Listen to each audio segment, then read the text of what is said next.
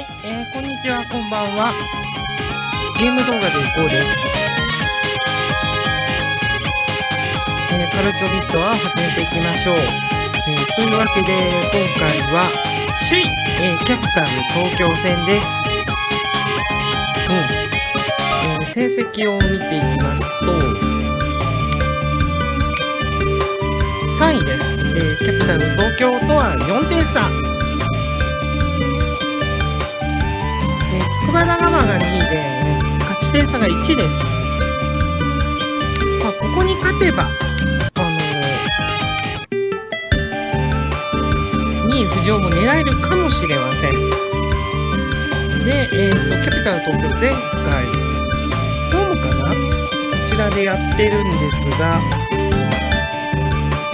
じゃあ相手がホームなんだ。アウェーなんだ。えー、勝ってます。3年連続。2年連続優勝。1位。名門クラブ。で今季も1位ですからね。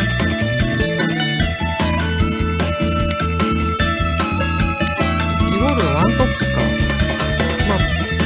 まああでもなんか今年はちょっと首位はキープしてるけど去年ほどじゃないなまあ強い選手集めてんだけど、そんなに強い感じはしないかな。うん。力落ちてんのかもしれない。えっ、ー、と、例えば、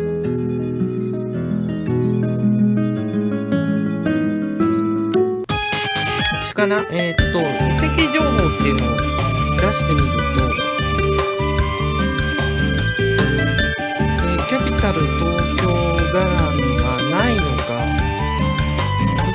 しないってことですよね。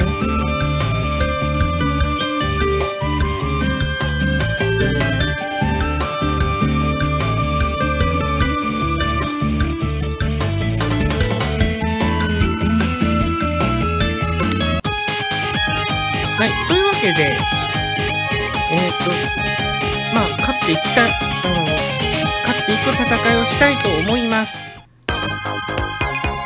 当然スタメン選び大事です。え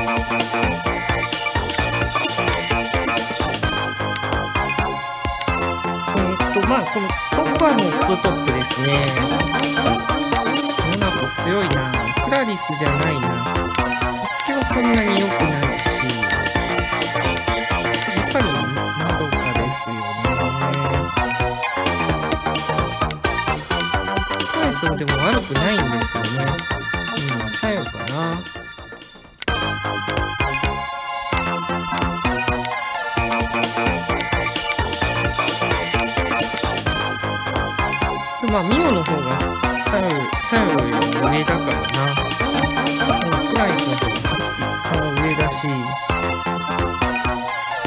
で、次にディフェンダー。まあ、みゆきは文句なしですよね。村はあるんですが、前は A が多い。カナが、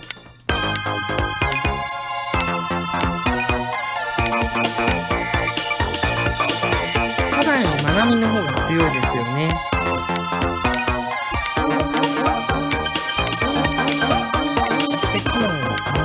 マナミに変えます。綾香もいい。綾香もそのまま残します。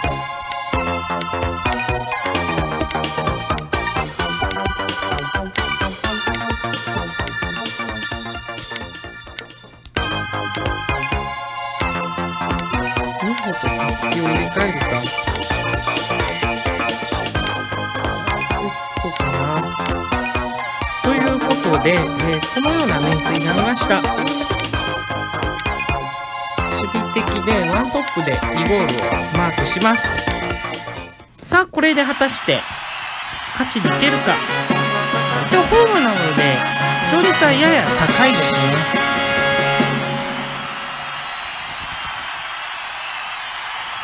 ホームなんでもうちょっと応援団入ってほしいが、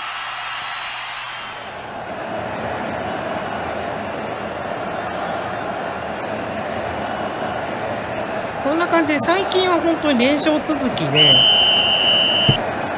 力つけたなっていうのは分かります。あっとこれは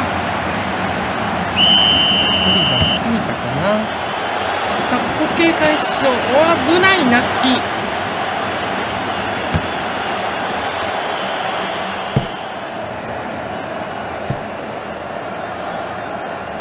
こは隙を逃しません。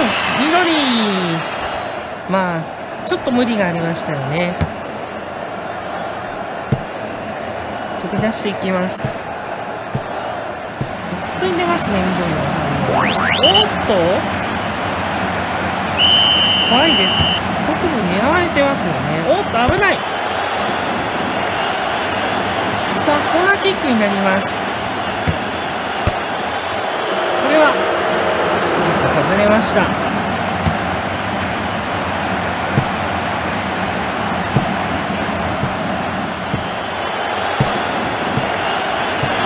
いですね、落ち着いてます。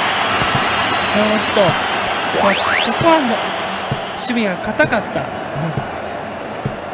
昨日一気に上がってますね。1人で、しかも守備全然反応してない。綾香が、それを幸子が拾って7個へ。3位幸子へ。ファール？ファールですね、こちらは。キャンデローから7個。さあ、おっと、チャンスが緑決まった先取点先制したのは我がクラワンタリバーズ。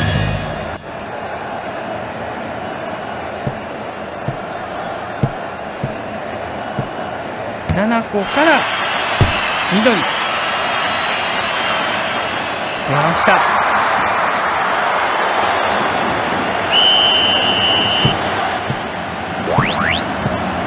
さあこのままもうあの乗りたいですね。ナイス幸子さあここはとさあ慌てて戻ります。結構強かった印象がありますかね。さあここはおおそうですね前に出すことが結構大事かもさキャンデロさあ、ここ、おキーパーチャージに行きますかね。なんと、キャンデローが動く、動く、動く。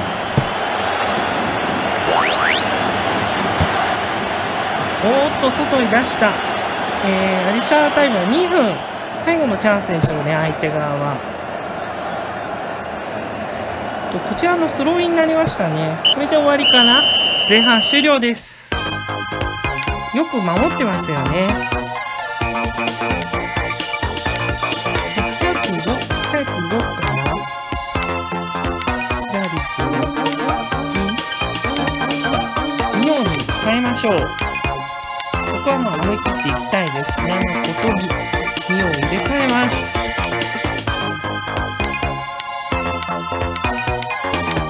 カンデローマークを追加します。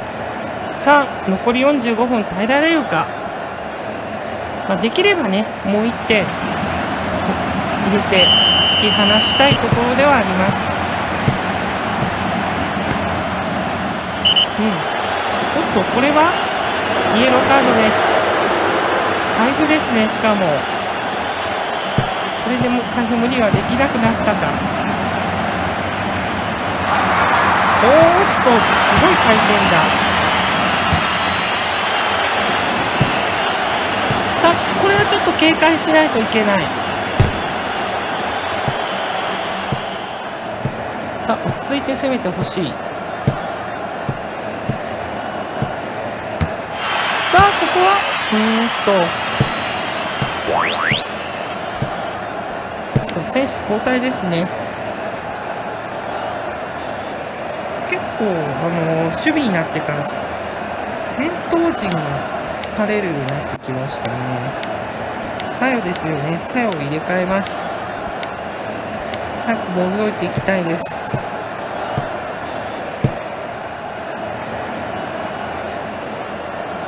おっと、これすごいな、日野。敵ながらあっぱれです。ルかな？ファールですね。さあ、くるみが直接シュートそれを待ってたかのように戻ります。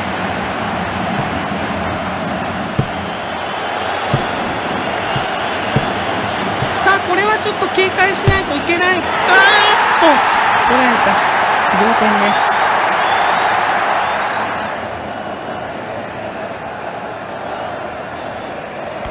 守備陣があまり動けてない感じですよね。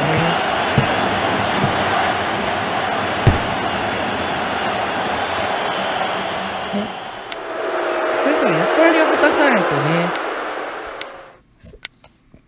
また、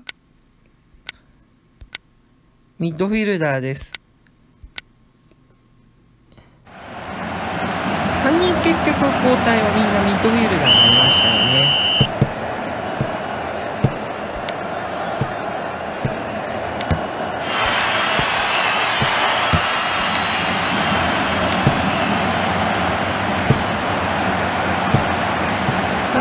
15分です。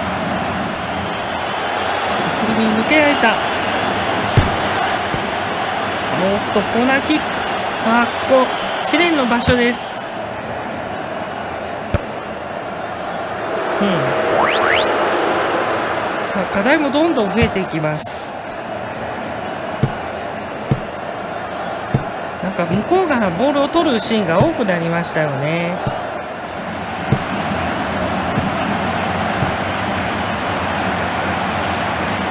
ファールですね、これは。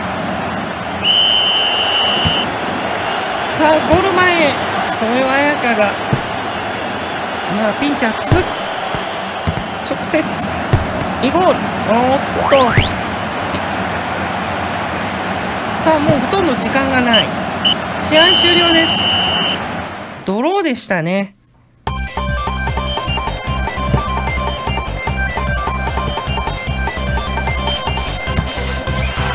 前半はこちらが有利に見えました。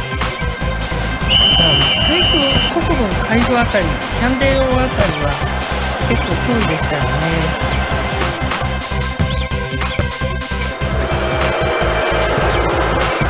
先制点は我がクラワカリバーズでした。7個の、このクロス。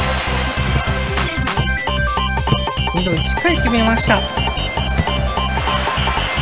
飛び込んできましたね。前半41分。うまい、あの、スルーですよね。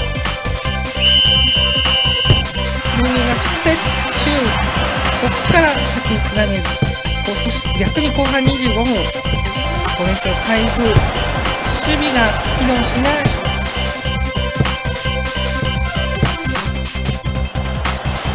疲れてる隙に完全に決められてしまいます。それからちょっと相手のペースに完全になっちゃった感じはありますよね。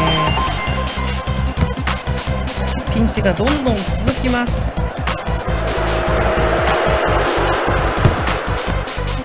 れなんか一番危なかったシュートをどんどん叩き込まれます。夏希は最後はキャッチ。危なかったですね。11本もシュートを打たれて、こちらは5本しか打てない。国内も相手のキャピタル東京は6本。こちらは2本。そう、ボールの支配率も58%と42%。よく引き分けに持っていったなと思います。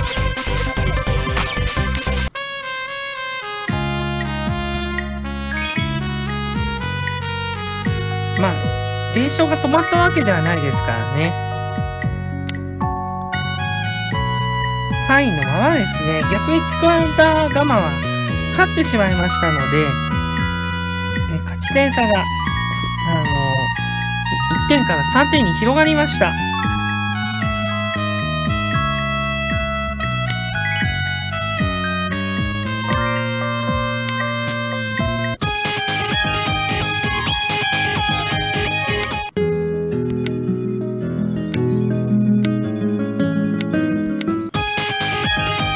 はいえ次はリバッセ大阪です。昨年の2位のチームですね。としては4位に甘んじてますが、やっぱり、おっと、北原が出られないアタックワードの、これはあの得点力の低下につながります。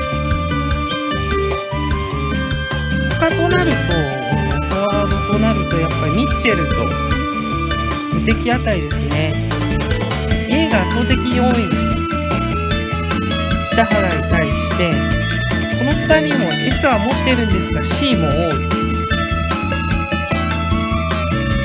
他となると、ダルリベロ、ダルマとか、守備もまあまあなかなか強力ですよね。ディフェンダーの深田、疲れはちょっと心配だけど、止められそうですよね。で、まずはクラマンカリバーズはこうなってますよね。A もだいぶ増えてきました。まあ、C とか B とか多いですからね。バランスのいいチームっていう感じで。逆に言ったら、うん、飛び抜けたけた選手がいないっていうことでもあって、これが果たしていいのかどうか。ね。まあ、結果的に、引き分けだ、キャピタル東京は引き分けだったものの圧倒的なシュート本数の差は、ちょっと今後気になるところではあります。まあ、次のリマッセ大阪勝って、再び上昇気流に乗せたいと思います。はい、えー、以上、本日のカルチョビットでした。えー、ぜひ、今、あの、あと100人で、え1000人出すチャンネル登録者数いきます。えー、と、どんどん収益化もできるかもしれません。皆さんご協力かかっています。まだチャンネル登録されていらっしゃらない方、ぜひ、お力をお貸しください。よろしくお願いいたします。ブログ、ツイッターもやっております。説明欄にアドレス記載してますので、よろしければ見てください。この動画最後の20秒で関連動画、動画プレイリスト表示されます。お時間がありましたら見ていただければ嬉しく思います。えご視聴いただきありがとうございました。ゲーム動画でいこうでした。